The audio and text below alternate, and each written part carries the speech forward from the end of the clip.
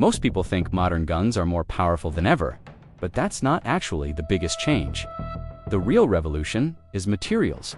Many modern firearms use polymers and lightweight alloys instead of solid steel.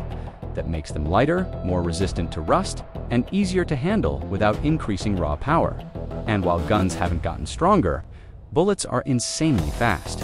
A typical handgun bullet can travel over 1,000 feet per second, and rifle rounds can exceed 2,500 feet per second, faster than a Formula One car at full speed.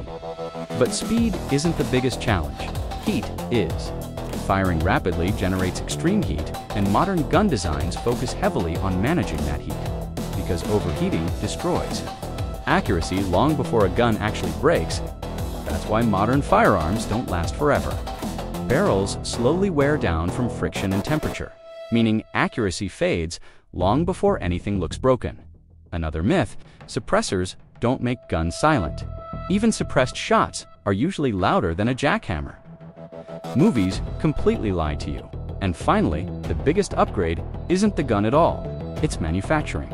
Precision machining and quality control have done more to improve reliability than any single invention.